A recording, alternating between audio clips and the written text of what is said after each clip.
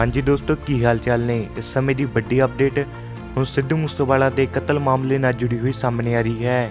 ਜਿੱਥੇ ਕਿ ਦੋਸਤੋ, ਹੁਣ ਪੰਜਾਬੀ ਗਾਇਕ ਸਿੱਧੂ ਮੂਸੇਵਾਲਾ ਦੇ ਕਤਲ ਮਾਮਲੇ ਵਿੱਚ ਗਾਇਕ ਦਿਲਪ੍ਰੀਤ ਢਿੱਲੋਂ ਅਤੇ ਮਨਕੀਰ ਤੌਲਖ ਕੋਲੋਂ ਐਨਆਈਏ ਦੇ ਵੱਲੋਂ ਪੁੱਛਗਿੱਛ ਕੀਤੀ ਗਈ ਹੈ।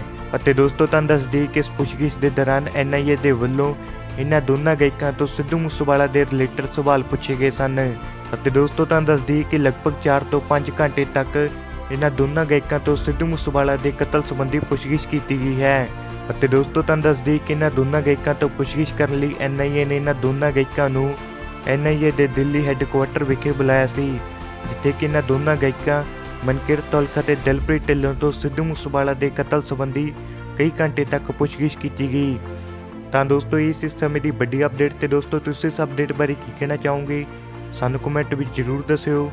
ਅਤੇ ਜੇਕਰ ਕੋਈ ਵੀਰ ਸਾਡੇ ਚੈਨਲ ਤੇ ਪਹਿਲੀ ਵਾਰੀ ਆ ਰਿਹਾ ਹੋਵੇ, ਤਾਂ ਚੈਨਲ ਨੂੰ ਸਬਸਕ੍ਰਾਈਬ ਕਰਕੇ ਨਾਲ ਦੀ ਬੈਲ ਵਾਲੀ ਆਈਕਨ ਨੂੰ ਜ਼ਰੂਰ ਪ੍ਰੈਸ ਕਰ ਲਿਓ।